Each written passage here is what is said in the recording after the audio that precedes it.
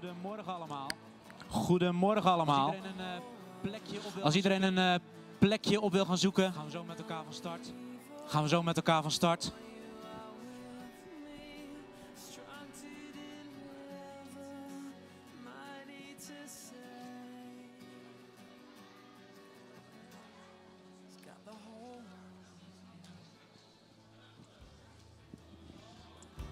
Hartelijk welkom.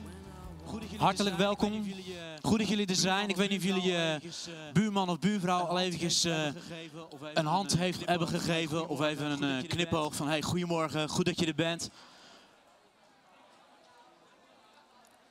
Het is goed om hier eh, vanmorgen Het is goed om hier eh, vanmorgen weer als shelter bij elkaar te zijn, ja toch?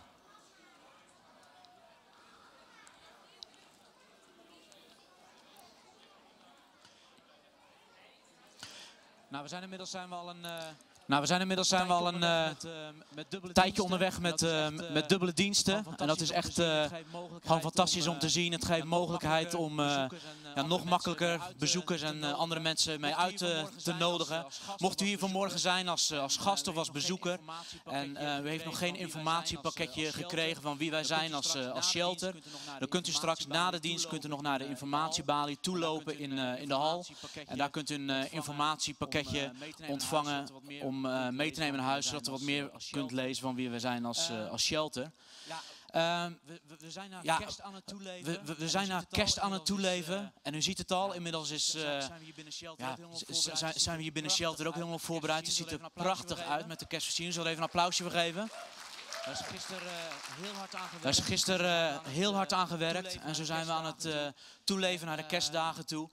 En, ehm, Het dat bepaalde mij er vanmorgen bewust ook bij dat we bewust mogen zijn van de missie die God had met We kerst. kennen allemaal de tekst uit Johannes 3 vers We kennen 16, allemaal de tekst uit Johannes 3 "Al vers zo lief 16 had waarin staat... Al zo lief had God de wereld dat hij zijn enige geboren zoon gegeven heeft te redden."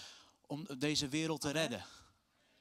Amen. Vertalingen door elkaar. Ik gebruik even twee vertalingen door elkaar, merk ik. Hè, de MBV en MBG, dat, Maar dat loopt af en toe door kerst. elkaar. Maar dat is de missie met kerst. De liefde van God voor deze wereld. Jezus zegt van, er is geen grotere liefde voor zijn vrienden.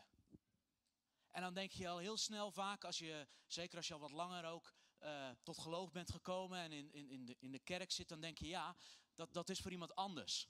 Weet je wel, God kwam naar de wereld om iemand te redden. Nou ja, dat, dat zal mijn buurman wel zijn. Of dat gaat misschien over eh, ja, die, die, die dronkaard die ik op straat zie. En weet je, die liefde van God, die is voor jou. Hij kwam naar de wereld om jou te redden. Amen. En als je dat weer weet te pakken, dat je denkt van ja, maar Jezus die kwam naar de wereld met kerst en hij stierf uiteindelijk aan het kruis om mij redding te brengen, dan gaat dat je zo pakken en dan mag die liefde je weer echt eigenlijk overwelmen. En ik hoop dat terwijl we erover spreken, terwijl we naar kerst toe leven, dat dat, ja, die, die missie, als je daaraan denkt, dat dat in je hart die verandering mag brengen. Dat je die liefde mag voelen die God heeft voor jou. En als je dat gaat beseffen, dan, dan ga je vanzelf weer aan, aan je buurman denken en anderen om je heen.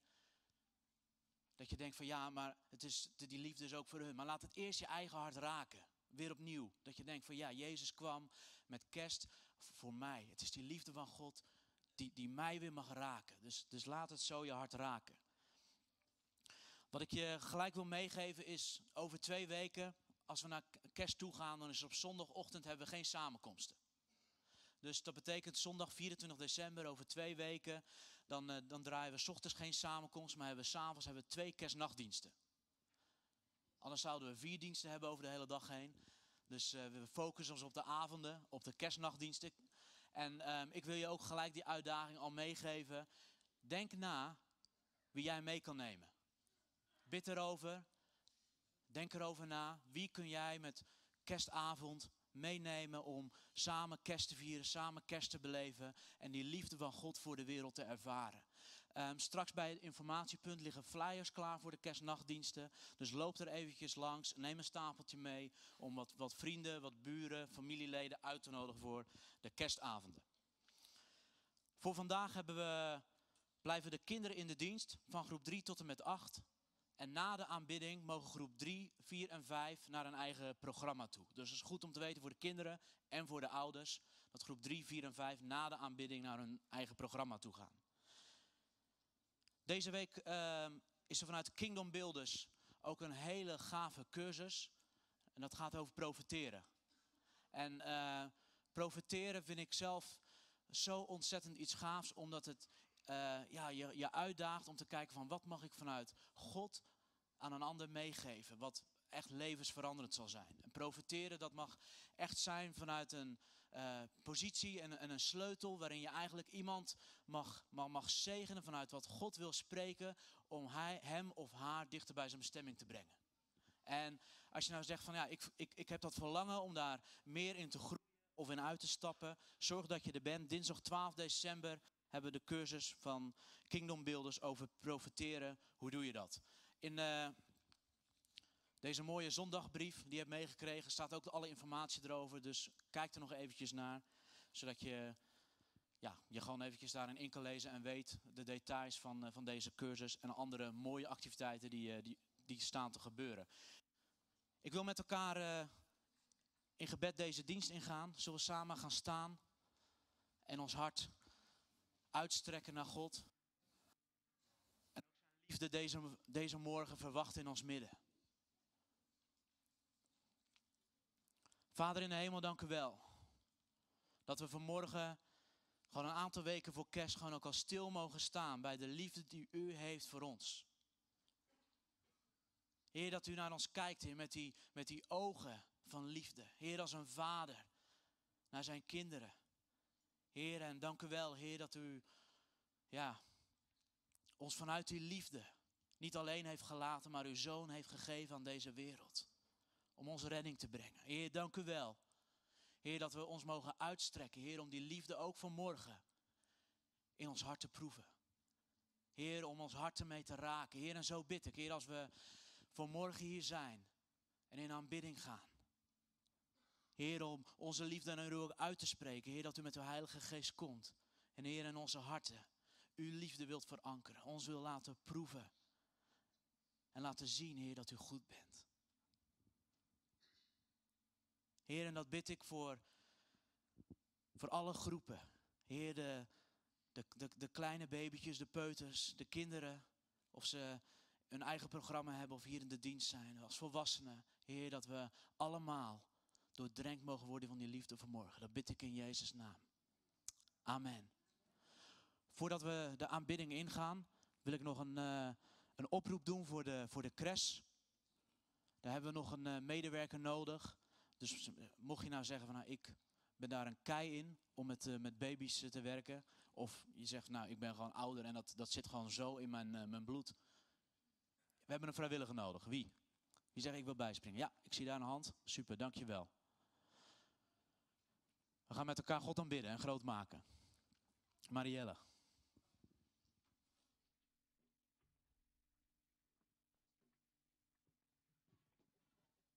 Goedemorgen gemeente, kom lekker uit je rij. Ga lekker vooraan staan, want jullie hebben wel wat ruimte nodig bij het volgende nummer.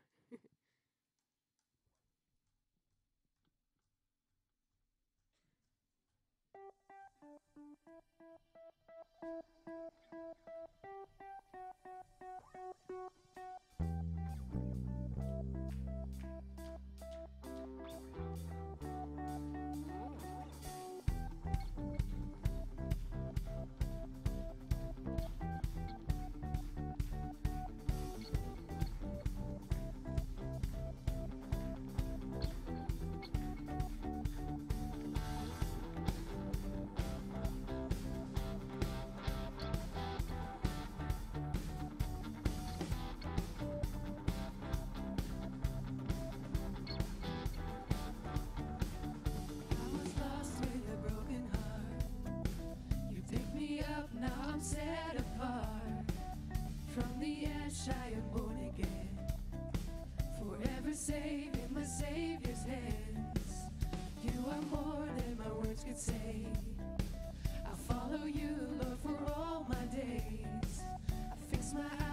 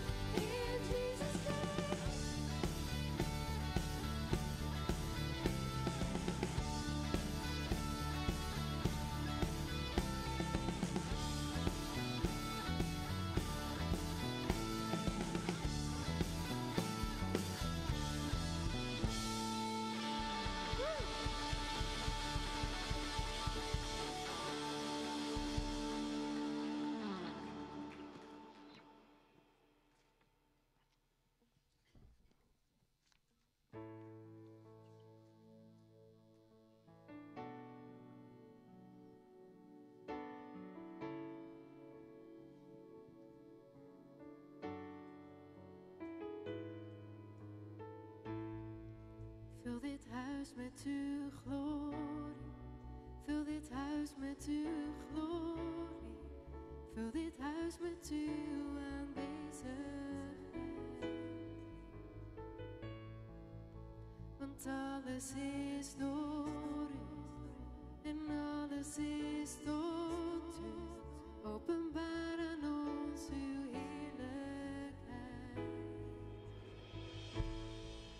Vul dit huis met uw glorie. Vul dit huis met uw glorie.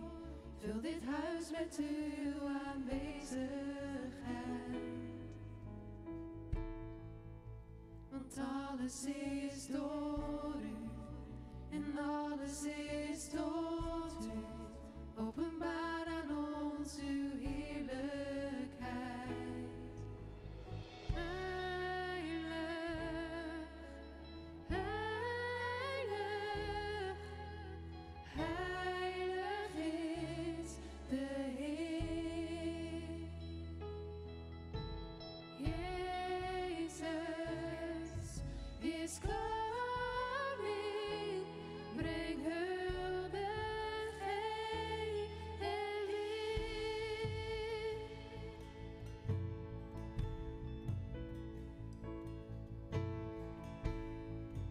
Vul dit huis met uw glorie. Vul dit huis met uw glorie. Vul dit huis met uw aanwezigheid. Want alles is door u. En alles is tot u. Openbaar aan ons uw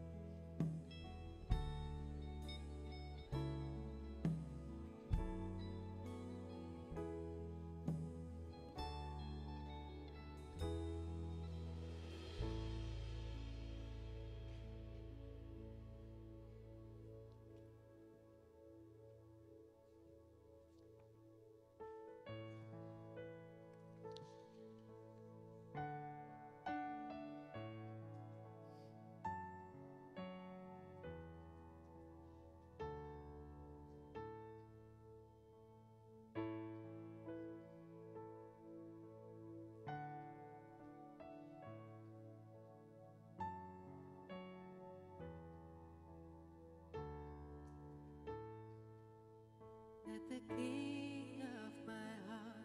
Be the mountain where I run, the fountain of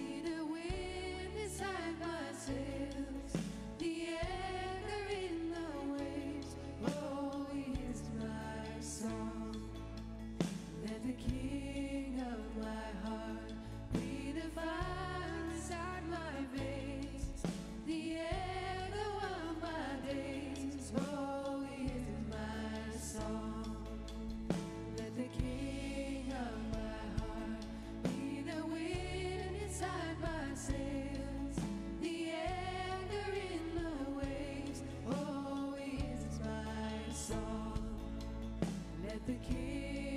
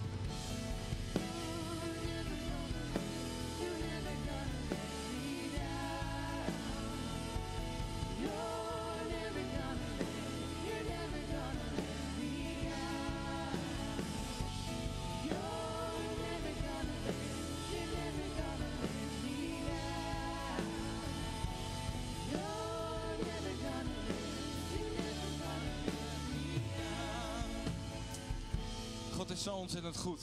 Hij is zo ontzettend, we God een groot applaus geven. Heer, u bent zo ontzettend goed, Heer. U bent zo van leven, zo vol van kracht, Heer. Zo vol genade, Heer. Zo vol van liefde, Heer. Heer, u bent zo ontzettend goed. U bent zo goed. U bent zo goed. Ik wil een, een stukje voorlezen. En uh, waar het blijkt dat God gewoon ontzettend goed is. Het staat in Genesis 12. Dit is een belofte die God aan Abraham geeft. De Heer die zei tegen Abraham: Ik zal je tot een groot volk maken. Ik zal je zegenen en ik zal je aanzien geven. Een bron van zegen zul je zijn. En ik zal zegenen wie jou zegenen, wie jou bespot, die zal ik vervloeken. En alle volken op aarde die zullen wensen gezegend te worden zoals jij. En het staat er in vers 7, de Heer die verscheen opnieuw aan Abraham en hij zei, ik zal dit land aan jouw nakomelingen geven. Weet je, er is heel wat te doen rondom Jeruzalem en Israël en wat uh, Trump onder andere heeft, uh, heeft gezegd. En er wordt van alles over gezegd, er wordt van alles over gedacht, ook door, ook door christenen. En, en, en menig christen ziet er een, ziet er een mooie, een, een, een ja, een, hoe zeg je dat, een, um, een vervulling zeg maar, van beloften die God heeft gegeven aan, aan het volk van Israël. Wat we nooit moeten vergeten, is dat we beloftes in het Oude Testament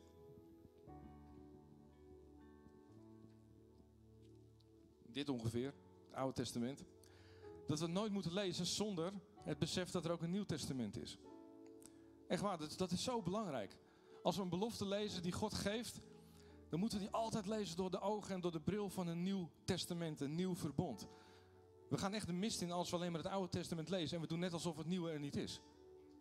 We doen dan net als inderdaad alsof, alsof Jezus niet gestorven is, alsof hij nooit gekomen is. Alsof we niet leven onder een nieuw verbond. Want er staat namelijk iets heel moois over deze tekst, over deze belofte. Speel maar lekker door hoor. Er staat in Galaten 3. Dat staat dus in het Nieuwe Testament. En er staat in vers. Even kijken. Ja, 16. Er staat: Nu gaf God zijn belofte aan Abraham en zijn nakomeling. Er staat, let wel, er staat niet nakomelingen, alsof het vele betreft, maar het gaat om één. Één nakomeling. En die nakomeling, dat is Jezus Christus. Dat is bizar. Als je die tekst leest, alleen maar in het oude verbond, dan is het logisch dat je denkt dat zijn de, de natuurlijke nakomelingen van Abraham. Dat is het volk van Israël. Maar, maar in Galaten, Paulus die schrijft, die zegt, joh, maar het gaat hier om één nakomeling. En die nakomeling, dat is Jezus Christus. En wat, wat betekent dat? Dat, dat? dat elke gelovige door Jezus Christus deel mag worden aan de belofte van, die God aan Abraham heeft gegeven. Wij zijn een nieuw volk geworden. En God heeft maar één volk, lieve mensen. Echt waar, hij heeft maar één volk. En die volk die bestaat uit mensen die geloven in Jezus Christus. Die doorgaan tot deze deur. Gelovige Joden, gelovige heidenen. Maar wij vormen samen dat volk van God. God heeft maar één volk. En dat noem ik goed nieuws. Weet je waarom? Omdat dit, is, dit is beschikbaar voor de hele wereld. Voor iedereen. En niet alleen maar voor een, een, een kleinere groep. Weet je, maar God heeft zoveel beloften gegeven. En dit, dit is goed nieuws voor iedereen. Dit is goed nieuws voor elk volk. Dit is goed nieuws voor Haarlem, voor Velsenbroek, voor jou en voor mij. Want wij mogen door Jezus Christus deel worden van het volk van God. Ik vind dat geweldig goed nieuws. Heer, dank u wel, Heer, voor uw goede nieuws. Dank u wel voor het goede nieuws, Heer. Dank u wel dat we deel mogen zijn, Heer, aan uw beloftes, Heer. Dank u wel dat we deel mogen zijn, Heer, aan uw volk. Heer, als u naar ons kijkt, dan ziet u een volk. We zijn, uw, we zijn uw kinderen geworden, Heer. Eens waren we geen volk, maar nu zijn we Gods volk geworden. Wat een wonder is dat. Wat een ongelooflijk wonder is dat. En ik wil niet kijken naar het nieuws en zien van, nou, kijk wat, hoe God zijn beloftes invult. Weet je, Jezus is het antwoord op de, is de vervulling van al die beloftes die gegeven zijn. Het is Jezus die het antwoord is op al die beloftes die gegeven zijn. Jezus zegt, ik ben niet gekomen, Matthäus 5 volgens mij, ik ben niet gekomen om de wet en de profeten op te heffen, maar ik ben gekomen om het te vervullen. Jezus zegt, ik ben de vervulling van die beloftes. wij de gemeente, wij zijn het licht van deze wereld. Weet je wat er gebeurt op dit moment in Jeruzalem en in Israël? Dat gaat niet de toekomst bepalen van ons land hier in Nederland of in Haarlem. Echt niet. Het is, het is de kerk, de glorieuze kerk die een verschil gaat maken. Want wij zijn het licht van deze wereld. Wij zijn het licht van deze Wij zijn het zout van deze aarde. Wij zijn gegeven door God. En God heeft ons die kracht en het licht gegeven om een zoutend zout te zijn en een lichtend licht te zijn. Geloof je dat? Amen. Zullen we onze handen openen? Vader, dank u wel. U wilt opnieuw ontvangen. Heer, dat kostbare geschenk wat u gegeven heeft, Heer Jezus. Het kostbare geschenk Wat u alles gekost heeft. U heeft het uw leven gegeven, Heer, om dit voor elkaar te krijgen, Heer.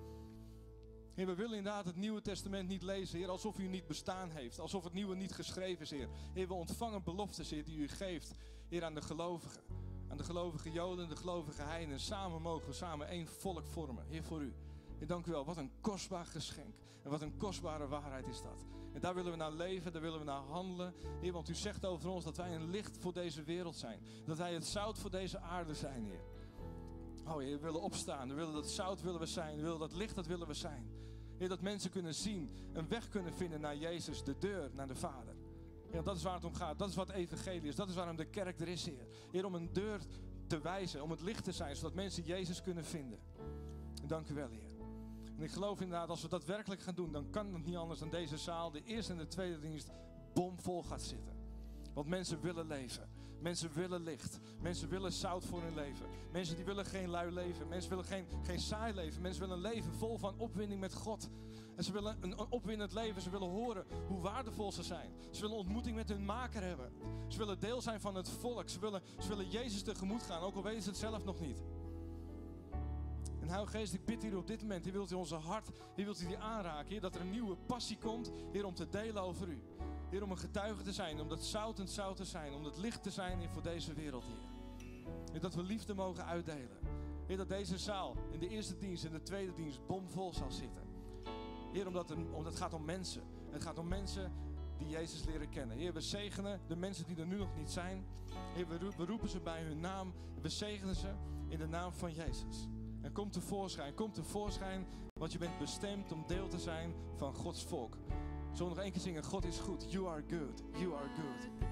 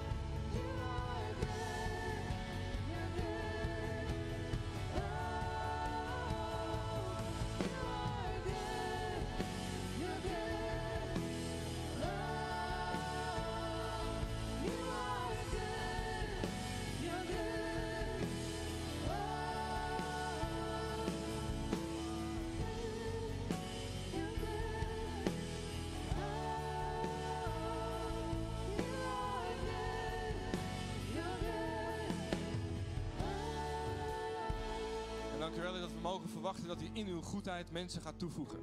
Dat u mensen gaat toevoegen aan ons leven, aan deze gemeente. Uw hart van goedheid, Heer, dat gaat naar en uit, Heer. En dat, dat verwachten we. En we zien uit, Heer, wanneer dat gaat gebeuren en op welke manier. Heer, maar u gaat het doen. Dank u wel daarvoor in de naam van Jezus. Dank u wel, Heer. Amen. Amen. Je mag even gaan zitten. Ik wil het moment de offergave aankondigen. Heer, dank u wel dat we ook vandaag weer opnieuw mogen geven. Heer, dat we mogen geven vanuit overvloed. U bent een God die goed is, een vrijgevige God, Heer. En dat willen we ook terugzien in onze eigen kracht, dat we vrijgevige mensen zijn, Heer. En ik ben dankbaar, ik ben dankbaar voor deze gemeente, die een vrijgevige gemeente is. Heer, dank u wel dat we mogen doorgroeien naar buitensporige, vrijgevende gemeente. Heer, dat mensen, de gemeente, dat de gemeente bekend zal staan om de vrijgevigheid die we hebben in deze gemeente. Dat we zaaien in bedieningen, dat we zaaien in mensenlevens. Heer, dat we zaaien, Vader, daar waar noden zijn. Heer, dat, eh, ja, daar willen we om bekend staan. En dan willen we ook vanmorgen willen we gewoon onze offergaves, hier als een daad van aanbidding, willen we weer bijeenbrengen in de naam van Jezus. Amen. Amen. Henk, je stond net al even op het podium. Hij wilde zo graag. Ja, dankjewel. Nou, om de daad bij het woord te voegen wat uh, Walfried het zegt. We gingen, het gaat over toevoegen aan deze gemeente. En ik wil graag de nieuwe leden uh, naar voren vragen. Om zich even hier op het podium op te stellen.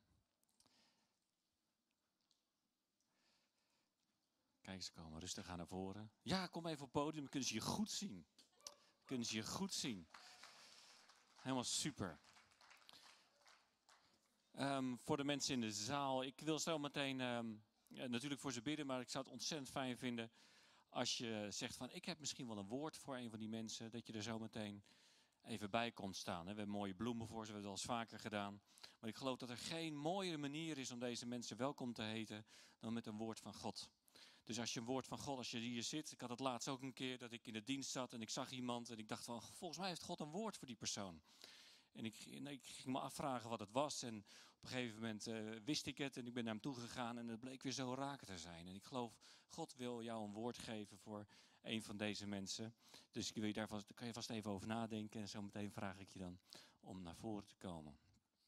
Goed, ze gaan zich zelf eerst even kort voorstellen en dan um, neem ik het verder weer over.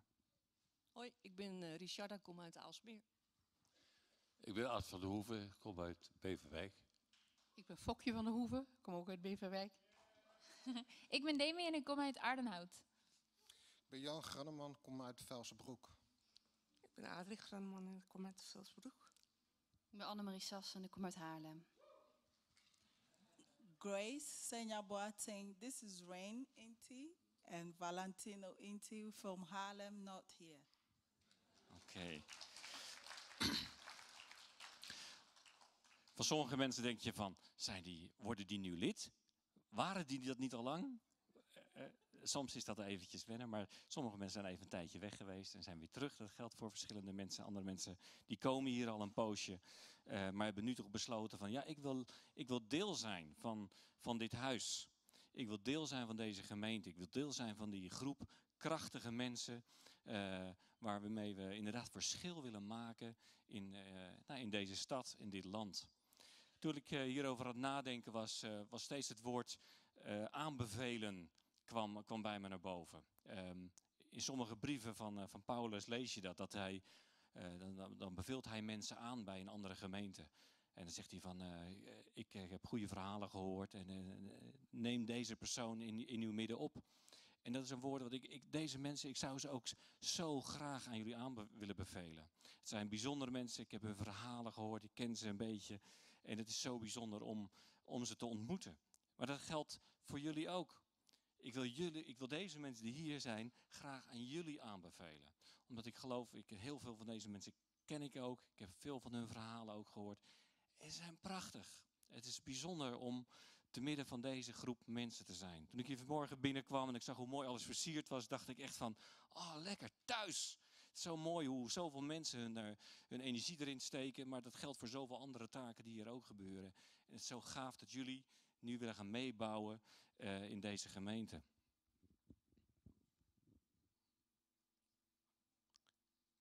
In uh, 2 Korinthe 3 staat, wij gelovigen hebben geen sluier over ons gezicht. We zijn net spiegels die het schitterende licht van de Heer weerspiegelen. Terwijl zijn geest in ons werkt, gaan wij steeds meer op hem lijken.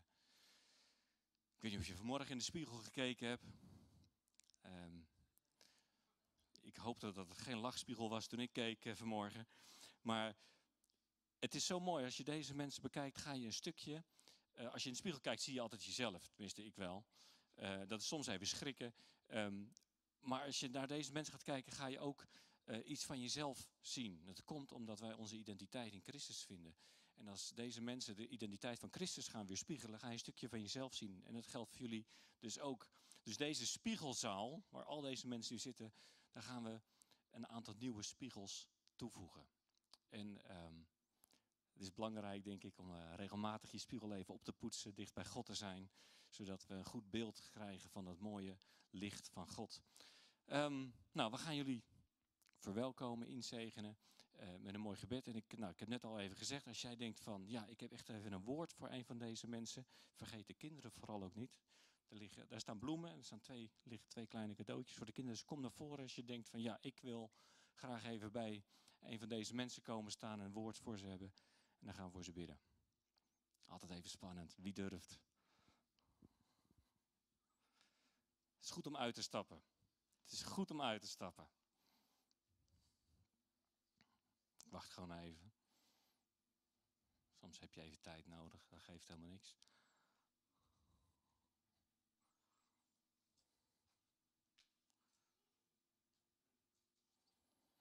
We zijn you forgot to introduce your husband, right? What's the name of your husband? Kofi Inti. Kofi Inti. He's in Ghana now. He's traveling for work. Hij is aan het reizen voor zijn werk. Er zijn nog een paar mensen die nog niemand hebben. Is er nog iemand die verwelkomen op deze manier? Oké. Wil ik u vragen om te gaan staan? Dan gaan we deze mensen in ons hart sluiten. Ja, terwijl ik bid kun je misschien zacht, uh, als je een woord voor ze hebt, dat uh, voor ze uitspreken en voor ze bidden. Vader, dank u wel voor deze nieuwe mensen. Heer, u kent ze al lang. Heer, wij hoeven ze niet goed te keuren, want u heeft ze al lang goed gekeurd. Heer, u heeft het stempel van, van waardering en van goedkeuring al lang op hun leven gezet. En ik dank u, Heer, dat we ze op dit moment um, in ons hart mogen sluiten. Dat we ze in ons midden mogen opnemen. Heer, dat we, ja, dat we, dat we zelf ook weer rijker daarvan van worden. Dank u, Heer, God, dat we een gezin mogen zijn, een familie mogen zijn. En um, ja, dat we deze, deze groep mensen erbij mogen krijgen. Heer, ik bid dat ze zich heel erg thuis zullen voelen.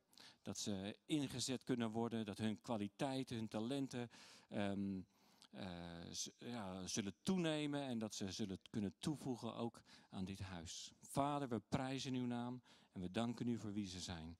In Jezus' naam. Amen. Amen. Nou, verwelkom ze nog even met een, met een mooi applaus. Super. Jullie zijn vergeten om even een bloemetje mee te pakken terwijl je naar ze toe liep. Maar die krijg je natuurlijk nog. Oké, super. Heel fijn. Nou, als jullie klaar zijn, mag je lekker gaan zitten. Ik denk dat de kinderen naar uh, groep 3, 4 en 5 mogen naar hun eigen groep gaan. Aanstaande woensdag is er een nieuwe Get Connected avond. Als je zegt van ja, ik wil nog heel graag uh, mee gaan doen met, uh, um, met zo'n avond, dan geef je je even op via kantoor. Oké.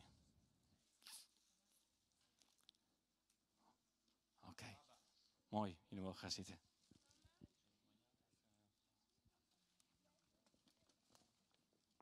En dan gaan we luisteren naar Jan, denk ik.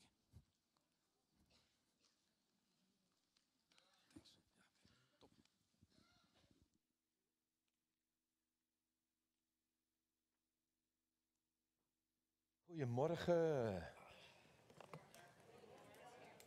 Jullie zijn heel erg enthousiast dat jullie mij zien. Goedemorgen. Goed, we duiken gelijk de Bijbel in. Psalm 1. Psalm 1, daar wil ik iets over lezen. De eerste drie versen. Er staat een geweldige belofte. Gelukkig de mens die niet meegaat met wie kwaad doen, die de weg van zondaars niet betreedt en bij spotters niet aan tafel zit. Dat is wat hij niet doet. Er zijn dingen die we niet moeten doen en er zijn dingen die we wel moeten doen. In vers 2 zegt hij wat we wel moeten doen. Maar die vreugde vindt in de wet van de Heer en zich verdiept in zijn wet dag en nacht. Het gaat me om vers 3. Daar gaat mijn preek over vanochtend. Hij zal zijn als een boom geplant aan stromend water. Op tijd draagt hij vrucht.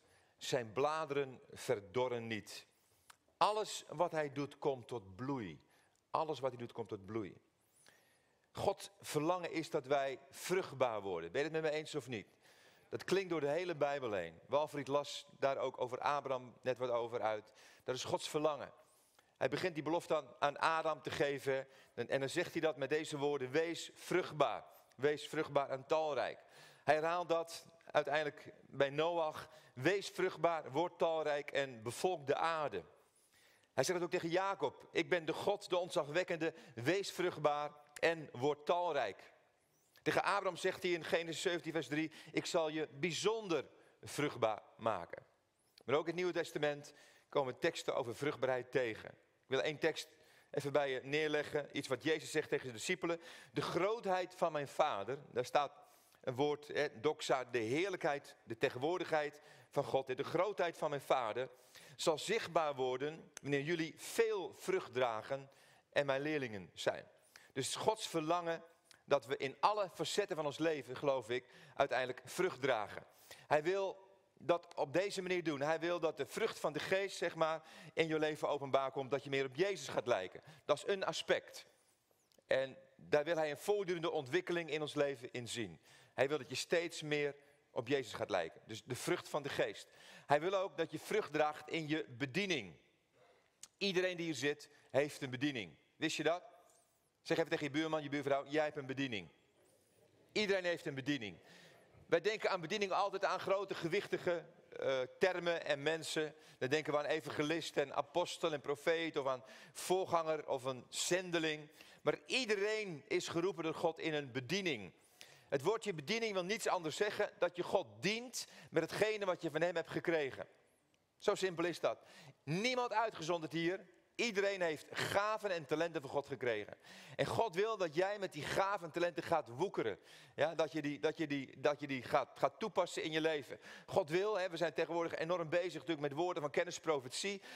Dat, Gods hart die, die springt daarvan op. Hij wil dat we meesters worden, zeg maar. Dat we, dat we zoveel vrucht dragen op het gebied van profetie. Op het gebied van woorden van openbaring en woorden van kennis. Dat is zijn verlangen. Dus vrucht dragen, in, hè, meer op Jezus lijken. Vrucht dragen in de zin van bediening. Maar er is nog een derde, die is ook heel belangrijk, die vergeten we wel eens. Maar wij moeten ook vrucht dragen in vermenigvuldiging. Dus jij bent geroepen ook heel duidelijk om iemand te zijn die ook weer andere mensen voortbrengt die hetzelfde doen als jij doet. Die dus ook vol van de vrucht van de geest zijn, die in de bediening van Jezus heel duidelijk wandelen. Jij bent geroepen om alle volken tot zijn discipelen te maken. Dat, is, dat zijn drie gebieden in je leven waarin God jou opdraagt om vrucht te dragen. Ik heb het heel kort samengevat. Hij zegt, wees vruchtbaar in wie je bent. In wie je bent. dat is, de vrucht van de geest is wie je bent. Christus in jou. Wees vruchtbaar in wat je doet. Dat is de bediening. En wees vruchtbaar in wat je reproduceert. En wat je reproduceert. Maar ik geloof dat die vruchtbaarheid nog dieper gaat. Die vruchtbaarheid die komt tot uiting in elk aspect van je leven. In elk aspect van je leven. In je huwelijk, ja. De, de christelijke huwelijken die zullen gigantisch zeg maar, in bloei moeten staan vergeleken bij de huwelijken in deze wereld. In onze financiën zullen wij met elkaar vrucht moeten dragen. Op ons werk zullen we vrucht moeten dragen. Christenen zijn echt geroepen om in elk aspect van hun leven vrucht te dragen. Opnieuw het laatste vers uit, uh, uit, uit de psalmen. Hij zal zijn als een boom geplant aan stromend water. Op tijd draagt hij vrucht. Zijn bladeren verdorren niet. En dan komt die tekst. Ik las hem gisteren. Alles wat hij doet komt tot bloei. Ik werd er opgewonden over. Er staat niet een paar dingen komen tot bloei. Nee, een paar dingen zeg maar, is hij succesvol in? Nee, alles wat hij doet, daarin valt bloei te zien bij een christen. In alles wat hij doet.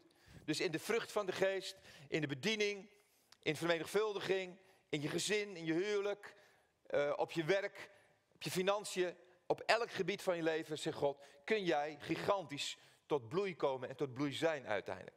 Nou, waarom wil God dat? Waarom wil God dat? Waarom wil God zo graag dat wij vruchtbaar zijn? Heb je het wel eens afgevraagd? Dat is Gods grote verlangen. Dat het antwoord heb ik eigenlijk al gegeven in de tekst die we gelezen hebben, Johannes 15, vers 8. Waar Jezus zegt, de grootheid van mijn Vader zal zichtbaar worden wanneer jullie veel vrucht dragen. Zie je dat?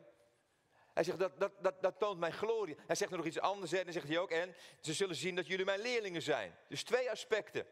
Door vrucht te dragen, zegt hij, zullen mensen zien dat jullie mijn leerlingen zijn. Het boekvertaling zegt er nog implicieter, door veel vrucht te dragen, bewijst u mijn discipelen te zijn. Met andere woorden, als we geen vrucht dragen, bewijzen we dat we geen discipelen zijn. Klinkt een beetje hard, maar dat is wel de tegenhanger in mijn ogen. Ja, vrucht dragen is het bewijs dat jij een discipel bent van Jezus Christus. Dat is de eerste. En de tweede, wat ik al zei, het dragen we God verheerlijkt, van vrucht verheerlijkt God. Hierin wordt mijn Vader verheerlijkt. We zijn geschapen om God te verheerlijken.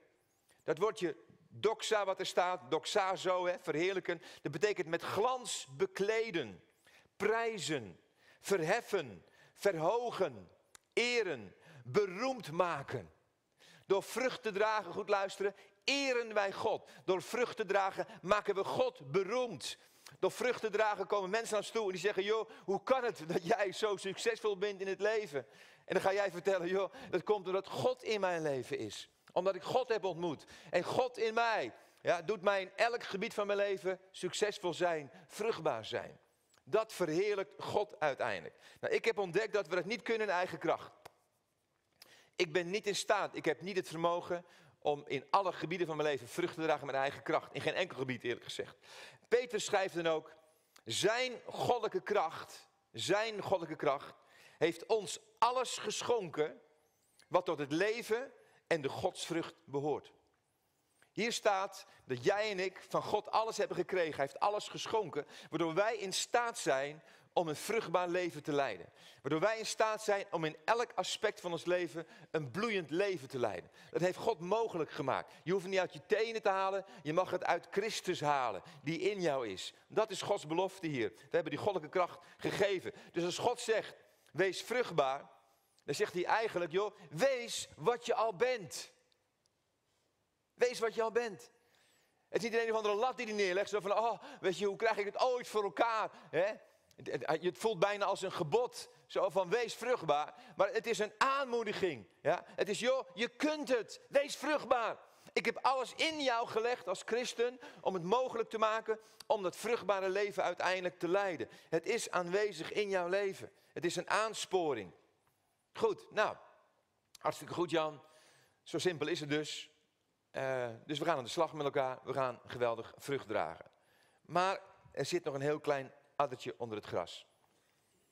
Er is iemand, een macht, die het haat dat wij vrucht dragen. De boze. Dus de boze zal er alles aan doen om christenen niet vruchtbaar te laten zijn. Hij haat het dat christenen vruchtbaar zijn. Dus hij zal alles in zijn vermogen stellen om dat uiteindelijk tegen te houden. En waarom? Satan is maar op één ding uit. Dat, dat is al vanaf het begin. Hij is op één ding uit. Hij is uit op de troon van God. Goed luisteren. Satan wil niet dat God verheerlijkt wordt dat God beroemd gemaakt wordt, dat God geëerd wordt. Hij wil maar één ding, hij wil zelf beroemd worden. Hij wil zelf geëerd worden. Hij wil zelf aanbeden worden. Dat is wat hij wil. Hij wil op die troon van God zitten. Dus als hij ziet dat christenen vrucht dragen, dan weet hij, ze maken nu God beroemd. Dat wil ik niet. Zij doet er alles aan om jou op het gebied van vruchtbaarheid onklaar te maken. En, en hij, heeft daar ongelooflijk een geweldige wapens ook voor gekregen. Dat blijkt ook wel uit de praktijk, want heel veel christenen dragen uiteindelijk niet in alle opzichten van hun leven een stuk vruchtbaarheid. Dus de duivel slaagt er ook nog in. Nou, ik ga je meenemen ja, in, een, in een aantal tactieken van de boze, hoe hij probeert jou onvruchtbaar te maken. De eerste is een open deur, de tweede is een open deur, de derde is een open deur, de vierde is een open deur en ook de vijfde is een open deur. Nou, de eerste, hele simpele, hoe maakt hij jou onklaar? Hoe, hoe zorgt hij ervoor dat jij onvruchtbaar bent? Hij verleidt je tot zonde. Simpel hè? En we trappen er allemaal steeds weer in. Door zonde probeert de duivel ons te verhinderen om in vruchtbaarheid te wandelen. Zonde zorgt ervoor dat de vrucht die God in ons leven heeft neergelegd, wordt gestolen door de boze. De boze is maar op één ding uit: om te stelen, om te vernietigen en om te slachten. Ja. Hij komt ons levenshuis binnen hij komt onze financiën binnen. Hij komt ons huwelijk binnen. Hij komt onze bediening binnen. Hij komt op alle hoe komt hij binnen ons leven. Hij probeert ons tot zonde te verleiden. En hij weet, als ze, als ze gaan zondigen, dan heb ik een, een voet gekregen om te stelen uit hun leven. Om ze op die manier onvruchtbaar te maken.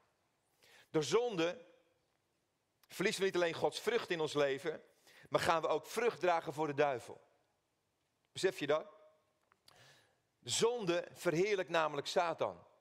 Zonde verheerlijkt Satan. Met elke zonde die wij doen, maken we de duivel groot. Wij verhogen en eren de duivel wanneer we kwaad spreken. Hallo. Wij verhogen en eren de duivel ja, wanneer we mensen niet vergeven. Wij verhogen en eren de duivel als er jaloezie is. Wij verhogen en eren de duivel bij elke zonde die we uiteindelijk doen in ons leven. Ja, wij verhogen en eren hem als we verslaafd zijn aan de zonde. Dus er wel niets liever dan christenen tot zonde verleiden. Ja, en als ze zondigen, dan weet hij, kijk, nu word ik beroemd door hun leven. En niet uiteindelijk God. Dus zo steelt hij uit jouw leven. Hij steelt je vrede, hij steelt je blijdschap, hij steelt je geloof, je reinheid, harmonie in huwelijken, in gezinnen. Hij steelt gezondheid, hij steelt financiën, hij steelt bestemming, hij steelt talenten, hij steelt gaven, hij steelt zielen. Goed, de tweede. Hij zal er alles aan doen om te verhinderen dat wij in diepe verbondenheid met God leven uiteindelijk. Daar zal hij alles aan doen. Hij kan er niet tegen als jij in diepe verbondenheid met God leeft. Want hij weet dat je dan een ongelooflijk belangrijk wapen in de handen van God bent geworden. Satan weet dat intimiteit, goed luisteren, Satan weet dat intimiteit de sleutel is tot een vruchtbaar leven. Jezus heeft gezegd, als iemand in mij blijft en ik in hem, zal hij veel vrucht dragen. De boze kent die tekst ook. De boze kent die tekst.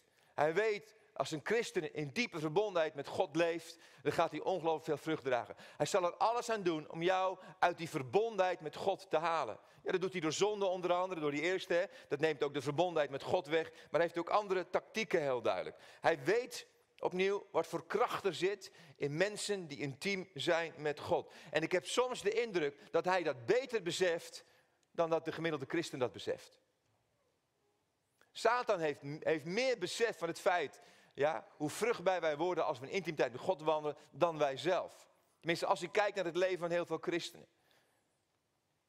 Die, die niet in de diepe verbondenheid met God uiteindelijk wandelen en leven. Hij zal proberen jou met alle macht van die intimiteit af te houden. Hoe? Nou, onder andere door je druk te houden. Door je druk te houden. Hij zal er alles aan doen om jou bezig te houden met van alles en nog wat. Ik heb een heel rijtje hier staan. Hij zorgt ervoor dat je leven beheerst wordt door werk. Door e-mail, door Facebook, door internet, door chatten, door tv kijken, door, door, door Netflix, door weet ik wat. Hij wil je bezighouden, bezighouden, bezighouden, bezighouden. Hij wil je ook bezighouden met goede dingen, wist je dat? Hij zorgt ervoor dat we druk zijn met allerlei christelijke goede dingen. Als er één valkuil in ons leven is, en dat heb ik de afgelopen maand opnieuw ontdekt. En toen ik hiermee bezig was, dacht ik van, dit is eigenlijk ook weer gebeurd in mijn eigen leven. Ik heb het met dikke letters in mijn aantekening hier neergezet. De duivel heeft weinig moeite en weinig moeite mee dat wij goede werken doen. Maar hij doet er alles aan om te voorkomen dat we Gods werken doen. Amen? Goede werken, weet je, dat kan hij hanteren. Dat vindt hij prima. Maar zodra we Gods werken gaan doen, dan gaat er wat gebeuren. Dat weet hij, dat beseft hij. En zo kunnen we soms bezig gehouden worden om goede dingen te doen. Die verleiding heb ik ook in mijn leven. Ja, alles, alles wat ik doe op dit moment in mijn leven zijn, zijn, in die zin het onderdeel ook van goede dingen. Maar is alles ook werkelijk Gods ding wat hij van mij vraagt. Ik ben met aan het rennen en overal ben ik tot zegen, ook door hele mooie dingen. Maar, maar, maar is dat wat God van mij vraagt? Dat vroeg ik me van de week af weer opnieuw. Dat harde rennen. Ben ik wel bezig met Gods werken? En die Gods werken kan ik alleen maar ontdekken als ik in diepe verbondenheid met Hem leef. Dat is de enige manier. Wat Gods werk is, ontdekken we in die intimiteit. Jezus zei, de Vader heeft de Zoon immers lief en laat hem alles zien wat Hij doet en hij zal hem nog grotere werken laten zien. Zie je dat? Als ik in die intimiteit met God wandel en precies doe wat Hij van mij vraagt, dan doe ik Gods werk en niet mijn goede werken. Dat is een enorme valkuil. Ik geloof dat goed het, het, het, grote uh, gevaar is, zeg maar, van het doen van Gods werk uiteindelijk in ons leven. Doe jij Gods werk in je leven? En Nehemia was daarvan overtuigd. Hè? Nehemia is aan het bouwen. En dan komen er mensen naar hem toe die proberen hem af te houden van, zijn, van, van het bouwen van de, van, de, van de muren, herstel van de muren in Jeruzalem. He, Samballat en Tobias. En, en, die willen in gesprek met hem gaan. En iedere keer sturen ze een uitnodiging. En dan zegt, dan zegt Nehemia deze simpele woorden. Hij zegt, nee, ik kan niet komen, zegt hij dan, want ik heb een belangrijk werk te doen. En als ik, als ik met jullie in gesprek ga, als ik inga op jullie uitnodiging, zegt hij, dan komt het werk stil te liggen. Tot vijf keer toe komen ze terug en zeggen ze, joh, wij willen met je praten. We hebben jou nodig. We willen in gesprek met je. En tot vijf keer toe zegt hij maar één ding, nee, zegt hij, want ik heb een belangrijk werk te doen. En wat is het belangrijk werk? Belangrijke werken zijn Gods werken in ons leven. Doe jij en ik de werken van God in ons leven? Of doen we heel veel goede werken? We zijn niet geroepen om goede werken te doen, wij zijn geroepen om Gods werken te doen. En die Gods werk opnieuw ontdek je alleen maar in die intimiteit uiteindelijk met Jezus. Nummer drie, hij probeert te verhinderen dat wij bidden. Je hebt je net al gehad, Jan, bidden. Nee, bidden is wat anders dan in verbondenheid met God leven. Amen? Of niet? Bidden is zijn. Of uh, sorry, intimiteit is zijn en bidden is doen. Is een actie. Vanuit het zijn, vanuit onze relatie met God, die intimiteit, gaan we ook bidden. En bidden zet uiteindelijk vruchtbaarheid in ons leven vrij. Bidden gebeurde heel veel in de Bijbel. Rebecca was onvruchtbaar. Wat staat er? Haar man Isaac bad vurig voor haar tot de Heer. En hij verhoorde zijn gebed. Rebecca werd vruchtbaar en werd zwanger. Genesis 15, vers 21. Rachel, de vrouw van Jacob, was ook onvruchtbaar. Rachel bad en God verhoorde haar gebed en ze werd zwanger. Genesis 30, vers 22. Hanna was onvruchtbaar. Ze bad en smeekte tot God in de tempel. God verhoorde Hanna. Ze kreeg een zoon, Samuel. En hoe noemt ze die zoon? Door gebed verkregen. Door gebed verkregen. Elisabeth was onvruchtbaar. En wat zegt de engel tegen Zacharias toen ze uiteindelijk zwanger werd? Je gebed is verhoord. Je gebed is verhoord. Je vrouw Elisabeth zal je een zoon baren. God reageert als wij hem aanroepen. We kunnen de hemel als het ware bewegen, ja, tot actie laten komen. Er staat engelenactiviteit. Als mensen bidden, dan zie je heel vaak, er komen er op met engelen. Er gebeurt van alles als wij gaan bidden. Als wij hier op aarde bidden, komt er in de hemel beweging. Gebed is een van de grootste krachten in het universum. Maar beseffen wij nog wel dat we die sleutel van gebed hebben gekregen met elkaar? Gebed opent de deur voor God om te werken. Begrijp je nu dat de duivel alles aan zou doen om ons ook van bidden af te houden? Hij weet wat voor kracht er in gebed zit. Oh, hij vindt het prima dat we bezig blijven met al onze hè, bezigheden. Zolang we niet gaan bidden. Wie van jullie ja, heeft er geen strijd met gebed? Steek je hand op. Wie heeft er geen strijd met gebed? Drie mensen. Dit laat zien, weet je, we hebben allemaal strijd met gebed. Waarom? De boze wil niet dat je bidt. Hij wil dat je een biddende christen bent. Want een biddende christen ja, is een christen met ongelooflijke vruchtbaarheid in zijn leven. Dat kan niet alles. Hij zal alles doen om dat tegen te houden. Dat is een belangrijk wapen in zijn hand. Nummer vier. Hij probeert ons te ontmoedigen door een stuk intimidatie. Door intimidatie. De boze intimideert ons voortdurend met allerlei vormen van angst. Die heb ik gekend in mijn leven. Ja, hij wil ons onklaar maken, onvruchtbaar maken. Wat doet hij? Hij brengt angst in je leven. Angst om te falen. angst om voor gek te staan. Dus wat ga je doen? Je gaat niet uitstappen. Ja, laten we het even houden bij woorden van kennis, hè, waar op dit moment veel sprake van is. Ja, nou, als jij een beetje angstig bent om te falen, ga je echt niet uitstappen in een woord van kennis. Toch? Als je bang bent voor mensen, ga je niet uitstappen in profetie. Dat ga je niet doen. Dus angst is een wapen in de handen van de boze om jou onklaar te maken, heel duidelijk. Gebrek aan zelfvertrouwen. Gevoel aan minderwaardigheid. Van minderwaardigheid. Wie ben ik nou? Wat stel ik nou voor? Op allerlei manieren zal hij proberen om jou te intimideren, klein te houden en wijs te maken dat jij dat niet kunt. Ja, dat, dat Walfried hier woorden van kennis uitspreekt. Ja, dat is Walfried. Maar wie ben ik? Wie ben ik? En zo houdt de boze je klein en continu voor de gek. In Rechters, hoofdstuk 6, is een, is een bijbelgedeelte waar ik heel veel, uh, wat ik heel vaak gelezen heb, heel veel over gemediteerd heb.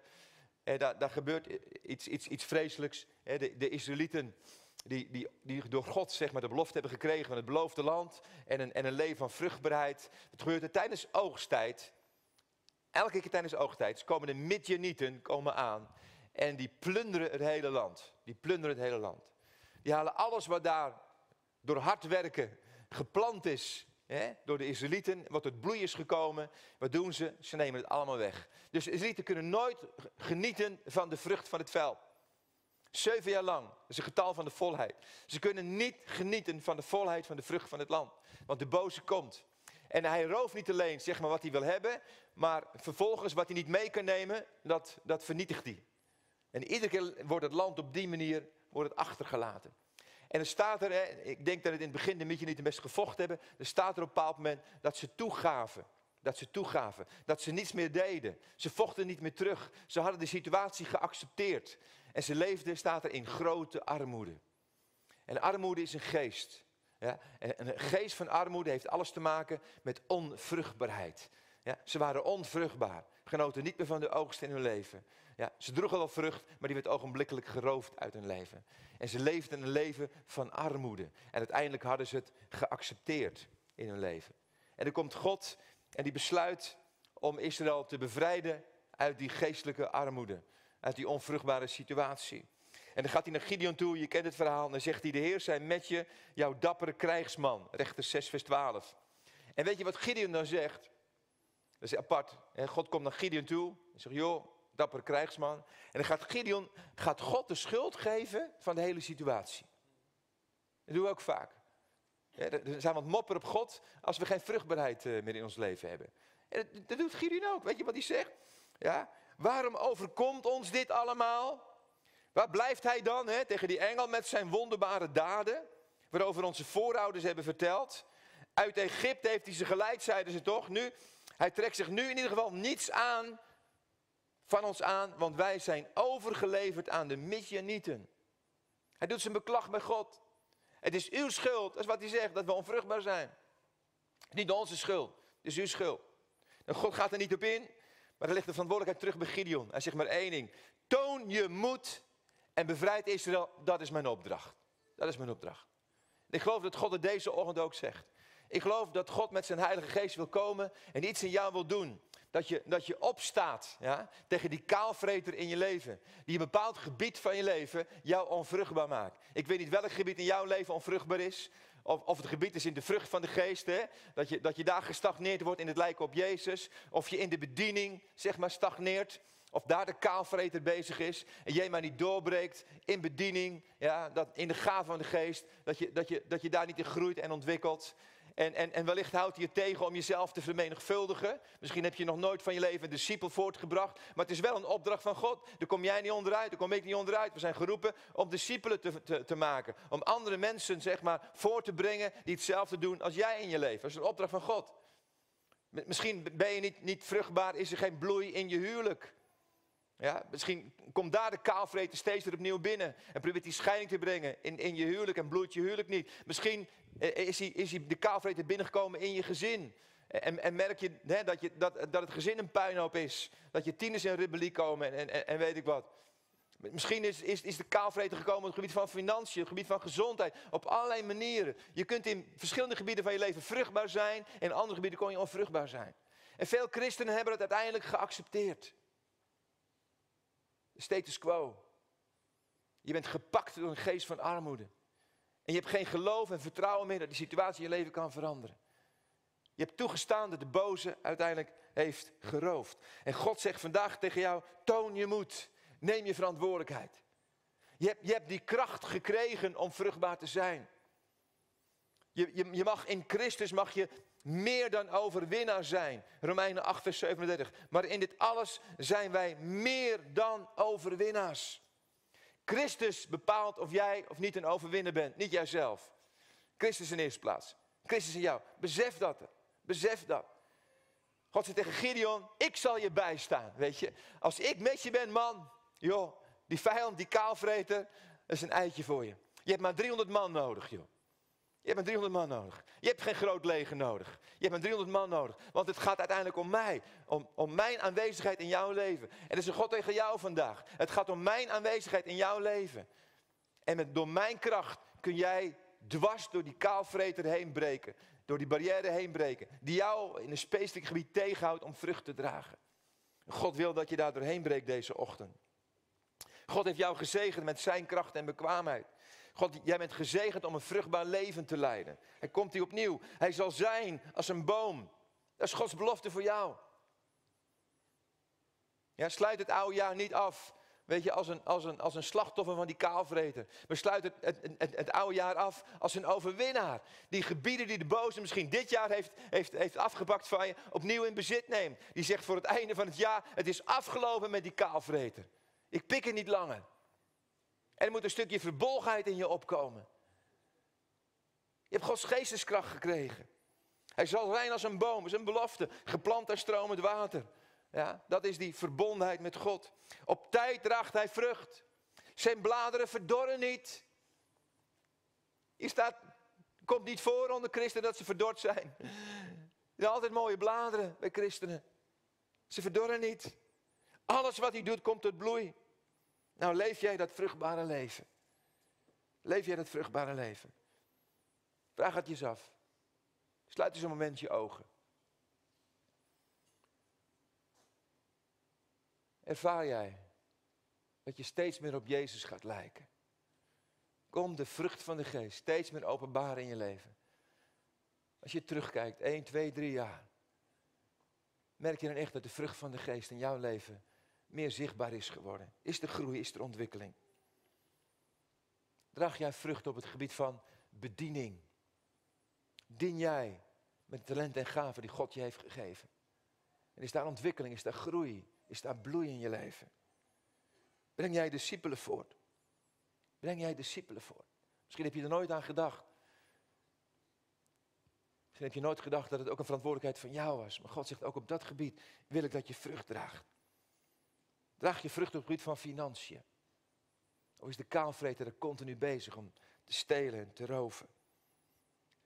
Kom je uit het bloei op je werk? Als we kijken naar Jozef, op elke plek waar hij was, staat er dat God met hem was en dat hij tot grote bloei was. Wij zijn geroepen als christenen om juist in die wereld, op onze werkplek, om uit te blinken. Om bedrijven tot bloei te brengen. Om de plek waar wij verantwoordelijk zijn op ons werk, om dat grote bloei te brengen. Draag jij vrucht op je werk? Bloeit jouw huwelijk? Schittert jouw huwelijk? Ja? Sprankelt het? Is het voorbeeld? Oké, mag we kijken hoor.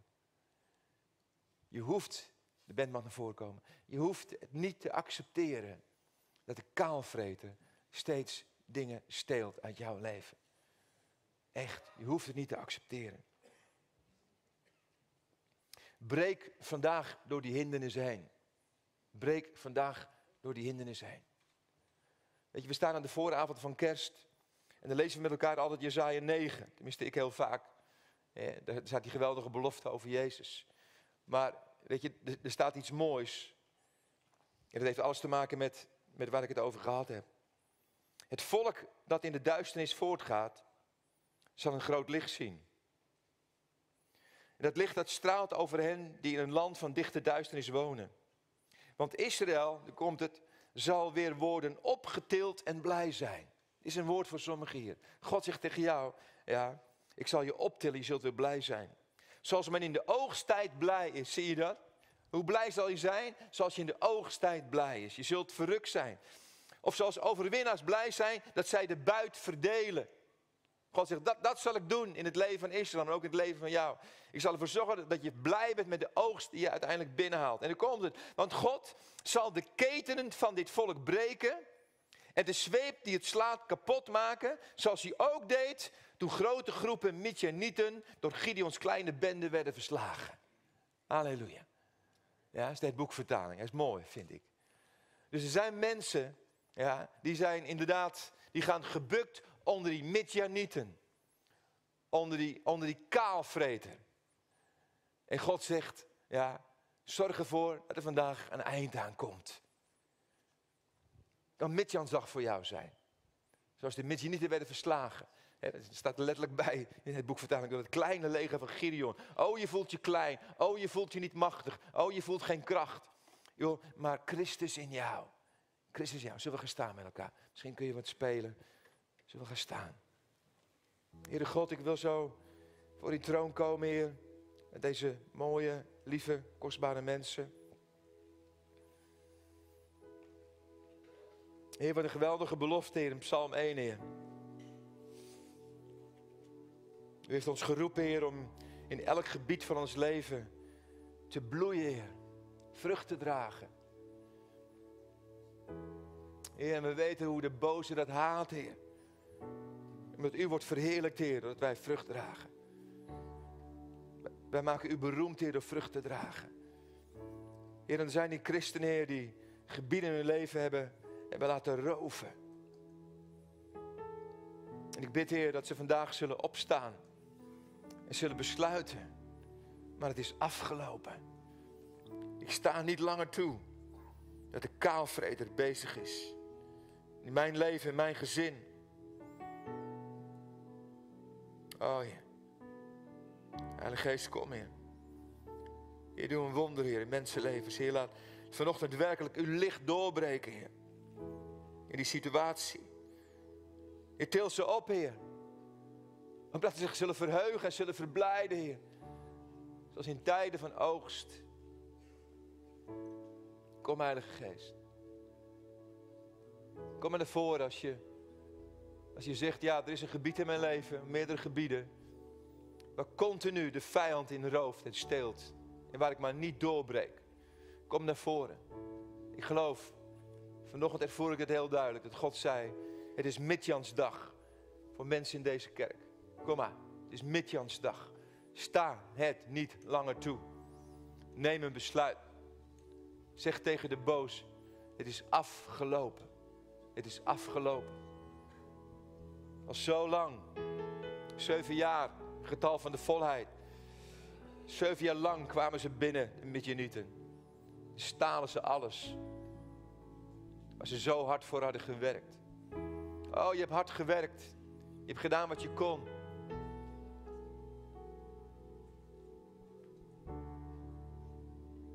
En toch zijn de dingen uit je leven gestolen. Jezus. Tu shabaka. Tu malasukushi. Schuif maar ietsje door, kunnen mensen aansluiten.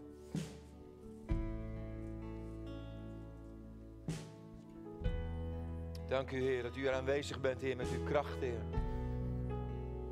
Heer, dank u dat u deze mensen stuk voor stuk wilt bevrijden, Heer. Dat juk van hun schouders af wilt nemen, Heer. En ik wil je eerst vragen om, om gewoon voor jezelf besluit te nemen. Gewoon op de plek waar je bent. Weet je, ik heb genoemd hoe de boze bezig is en zijn tactiek. Hij zal je verleiden tot zonde. Hij zal je tegenhouden om in verbondenheid met God te wandelen, te leven. Hij zal je gebedsleven zal hij, zal hij hinderen. Het is goed om uit te spreken voor jezelf. Heer, ik beleid, Heer, op dit gebied heb ik tekort geschoten. Heer, ik heb zonde in mijn leven toegelaten, Heer. Ik heb de, de boze ook een voet gegeven, Heer. Oh Heer, ik heb dat, die verbondenheid met uw wandelen niet, niet serieus genoeg genomen, Heer. Heer, ik ben geen bidder geweest. Doe maar op de plek waar je bent. Spreek jezelf uit voor God. Voordat ik iets ga doen, wil ik eerst vragen of je dat wil doen. Doe maar. Beleid het maar, Heer. Ik heb daarin tekort geschoten. Vergeef me, Heer. Vergeef me, Heer. Dat ik ingegaan ben op de verleidingen van de boos. Vergeef me, Heer. Dat ik niet intiem met u gewandeld heb, Heer. Vergeef me, Heer, dat ik niet gebeden heb, Heer. Dat ik dit heb laten wegroven uit mijn leven. Jezus. Ik wil je vragen om je handen naar boven uit te strekken, naar de hemel. En ik ga eerst gewoon een algemeen gebed bidden. En dan wil ik het gebedsteam vragen om gewoon geleid door de Heilige Geest rond te gaan. En mensen kort de handen op te leggen. En ook persoonlijk voor die mensenleven, zeg maar, twee dingen te doen. Dus dat, dat juk te verbreken van, hè, van Midjan, van onvruchtbaarheid in hun leven. En vruchtbaarheid vrij te zetten. Dus eerst dat juk verbreken, de vloek verbreken. En ten tweede, ze zegenen, weet je, met de vruchtbaarheid van God. En korte gebeden, korte gebeden. Dus gebedsteam, zet je schrap en kom zo meteen gelijk naar voren en loop gewoon rond en leg mensen de handen op. Heer, dank u wel. Dat we samen zo bij mogen komen, Heer. En dat ik autoriteit mag nemen in uw naam, Heer. Dat ik inderdaad mag zeggen tegen deze mensen: God staat niet langer toe dat de kaalvreter in jouw leven huishoudt. Hij heeft zoveel gestolen. Hij heeft blijdschap gestolen. Hij heeft vrede gestolen. Hij heeft vrucht gestolen. Hij heeft bediening gestolen. Hij heeft financiën gestolen.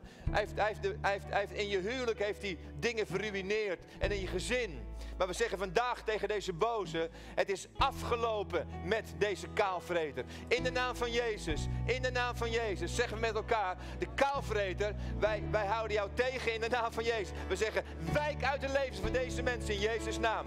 Wij staan niet langer toe dat je deze mensen in gebieden van hun leven kaalvreet. Dat je ze onvruchtbaar houdt. In Jezus' naam. In Jezus' naam roepen we jou een halt toe in de naam van Jezus. En we verbreken de invloed van de kaalvreter over je levens. In Jezus' naam. In Jezus' naam. Ga maar rond, gebedsteam. Ga rond. Leg mensen de hand op. En verbreek het juk. Het juk van Midjan eh, op hun levens. Opnieuw korte gebeden, hè. Het is geen pastorale zetting. Maar opereer in de kracht van God. Je hoeft niet, niet iets te vragen. Je bidt met autoriteit. Je bidt met autoriteit. Jezus naam. Jezus naam. In Jezus naam. We verbreken de vloek van onvruchtbaarheid, Heer. In Jezus naam. In Jezus naam. We spreken zegen uit, Heer. Zegen, barak. Voorspoed in alle gebieden van je leven. Dat is de belofte van God. Dat is de belofte van God. Jezus naam.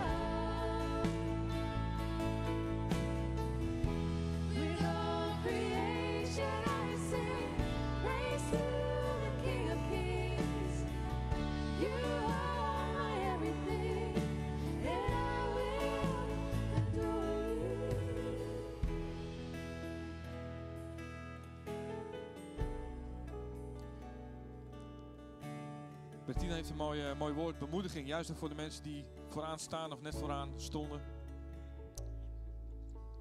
Ja, eigenlijk al ehm, sinds vorige week. En uh, ja, iets hield me toen tegen, net wat Jan ook zei. En, uh, de hele week heb ik inderdaad die verbolgenheid gevoeld van...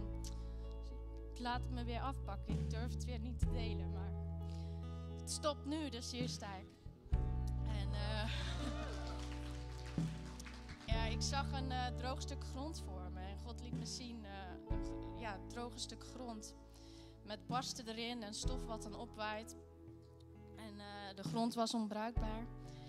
Maar God die zei van ik ga het laten regenen. En hij wil het zoveel laten regenen. Want als er te weinig regent, dan spoelt de regen vaak ook nog weg. Dus kan de grond het niet vasthouden. Maar God zei ik ga het zoveel laten regenen. Zodat die grond weer zacht wordt. Zodat ja, de grond weer vruchtbaar wordt, zodat er gezaaid kan worden. En dat gaat God doen. God gaat uh, de droge grond mogen we inruilen voor vruchtbare akkers. Er gaan uh, mooie dingen gebeuren voor jullie. Dankjewel. Dankjewel voor het delen. Super. Heer, dank u wel, Heer. Heer, dat u een God bent, Heer, van beloftes van nieuwe hoop. Heer, u geeft nieuwe hoop. Dank u wel dat we al aan het einde van, het, van dit jaar gaan, inderdaad. We mogen alvast uitkijken, Heer, wat u in 2018 gaat doen. Heer, maar dank u wel dat u nieuwe hoop wil geven. Nieuwe hoop. Nieuwe lichtpuntjes. Nieuwe beloftes. Dank u wel inderdaad dat we die kaalvreten niet meer de ruimte hoeven te geven. Zeg, joh, we staan tegen jou op. 2018 wordt een ander jaar. Wordt een jaar vol van vreugde en blijdschap. Wordt een jaar vol van hoop. Heer, dank u wel dat u een God bent die spreekt. In de naam van Jezus. Dank u, Vader. Het gebedsteam blijft nog even staan. Als je zegt, ik wil toch nog gebed, kom er lekker, uh, lekker naar voren als het ook voor iets an anders is. Um, de muziek die gaat straks, uh, speelt nog even verder. En um, dus als je zegt, ik, ik, het is toch nog niet klaar en ik wil nog graag even dat er voor me, voor gebeden wordt, dan is dat prima. Dan loopt het nog even door. Als je zegt, nee, het is, uh, het is, het is prima, dan, dan wens ik je nog een hele fijne zondag. Geniet lekker van elkaar. Neem ook nog even het moment om straks hiernaast even nog wat koffie te drinken met elkaar. Om ook de andere mensen te ontmoeten van de tweede dienst. En vergeet ook niet inderdaad uh, de nieuwe leden. Hè. Je hebt ze net gezien. Je, uh, volgens mij zitten ze ook in de weekinfo een blaadje met wat uh, foto's. dus loop even naar ze toe. Heet ze welkom. Zodat ze ook echt deel voelen van de familie die we willen zijn met elkaar. Dus heb ook voor elkaar. loop niet gelijk alleen maar naar je eigen vrienden toe. Maar probeer echt even andere mensen erbij te betrekken. geniet van je dag en tot volgende week. Amen.